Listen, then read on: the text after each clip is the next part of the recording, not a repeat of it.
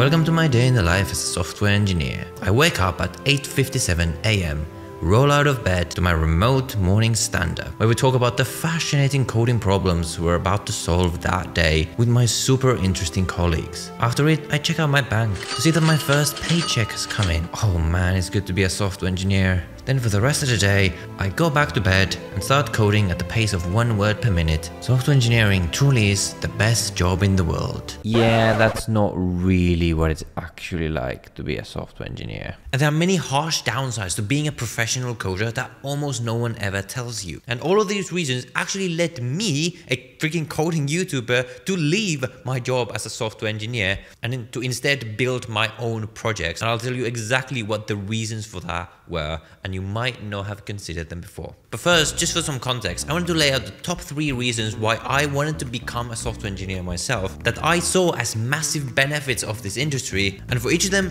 I will show you the actual reality of whether that reason is actually true or not. And be warned, because you will find that the truth about all these three things is a lot more nuanced than the tech industry likes to make you believe. So the first one is the juicy one. Money. 150k salary is straight out of college. Well, it's possible, but let me give you the nuance that you need to be aware of. So here is a report that shows the different salaries based on your region in the world. And in this case, based on your region within the US, because apparently according to these reports, the US is the only place that exists. But don't worry, we'll get into different parts of the world in a second. So what you can see here is that the average salaries highly depend on the area where you're working, which makes sense because cost of living varies highly by the area you're working. But the thing to understand is that the highest salaries, like 150k, like straight out of college, these are only really possible at the very, very highest cost of living places like San Francisco or New York. So I was doing some calculations on this for a tweet I was making. Follow me on Twitter, by the way.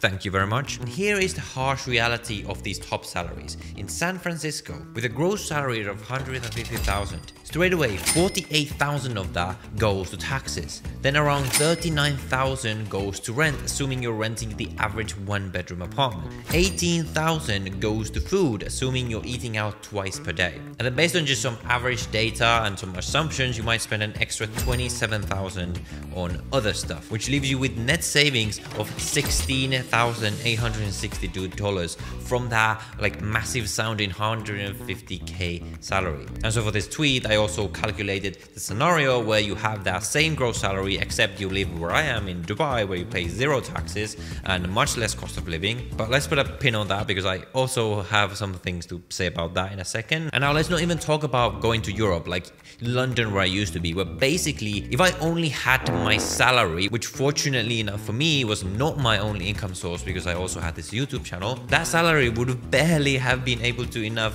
to even get me by in London. So yes, a software engineer will make an above average income in almost any city in the world, but thinking that it will make you rich fast because of these high seeming gross salary numbers is absolute nonsense. To become rich and to do it quickly, you will have to see how you could use your coding skills to make more money as a self-employed person instead or perhaps in freelancing or something like that. I talk about more ways to make money with coding in that video, which I will leave down below. Next is another classic one that I definitely fell for freedom. Now I will say that as a software engineer, you do have a lot more freedom compared to the other corporate jobs that I'm personally comparing it to because these are the jobs that I did before, like consulting and banking. I usually only had one meeting, which was my morning stand-up at the start of the day. And also pretty quickly, I was also allowed to work from home. But the biggest deal for me comparing to my consulting job was that the hours I was working was so much better. Every day it was from 9 till 5 and not really any more than that. That is unless you have a deadline tomorrow and your code still won't compile. So at least normally like 9 days out of 10 I had the time after my work to work on my side hustles or perhaps if you're a family person you would have the time to spend it with your family while still getting paid really really well and that is definitely a massive pro of being a software engineer. So it is true that in some sense working as a software engineer is very chilled out and it does give you a lot of freedom and flexibility but that is only when you compare it to the worst of the absolute worst which is other corporate jobs. And make no mistake as a software engineer for a big company you are still a slave to your boss. You still have one employer that controls all of your income and if they decide to fire you like a lot of companies have, by the way, you are out of luck. Now you need to scramble and find something else very quickly. So that is why I always recommend to all software engineers to start side projects, perhaps do some freelancing on the side, code an app of your own. Not only will this make you a much better software engineer, but it will give you these extra income sources. And it is these extra income sources and not being dependent on one source of income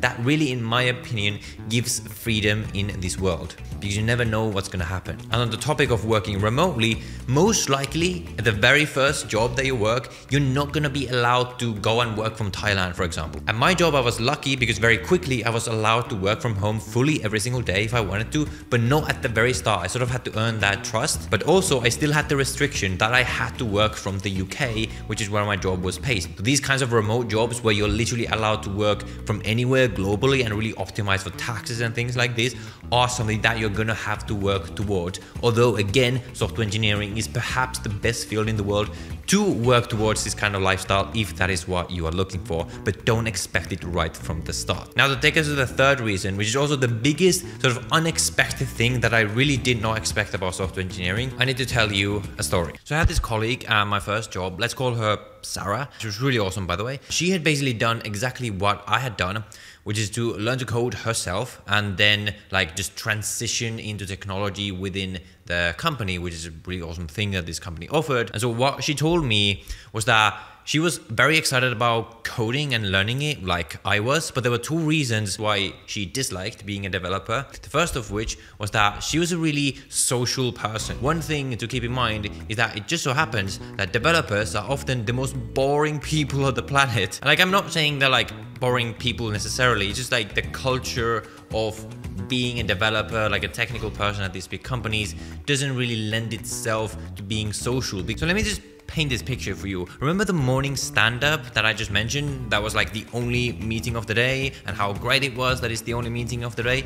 Well, even in that one meeting, just imagine that there's 20 people there and literally two of those people turn on their camera. So like literally some of the people I worked with for months and months, I still to this day do not know what they actually look like. I don't know what they look like because they never turned on their camera in their meetings. Like, how am I supposed to like have a human kind of relationship with people?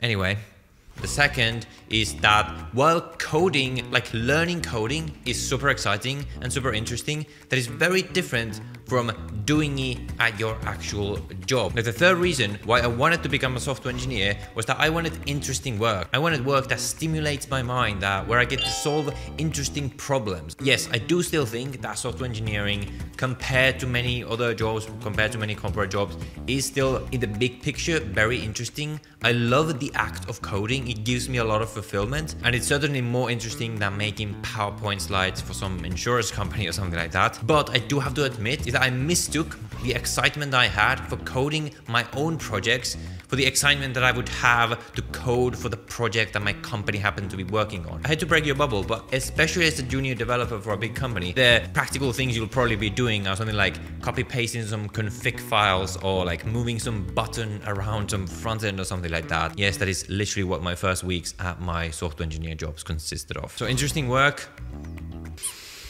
Well, no but it's but it's possible. If you prefer excitement and more fulfilling work, you might want to work for a startup. Like I've founded my own startup now, and I can tell you that the work in the startup is so much more interesting because you actually have a lot of responsibility and you're building something new and just the environment is a lot more exciting. Or if you're looking for more freedom, then perhaps something like becoming a freelancer could be the right option because it's more likely to you'll be able to work remotely and have a lot more flexibility around your clients and things like this. But then again, those options as well will have their downsides. So what's the conclusion? That you should not learn to code and not become a software engineer? Well, maybe and maybe not.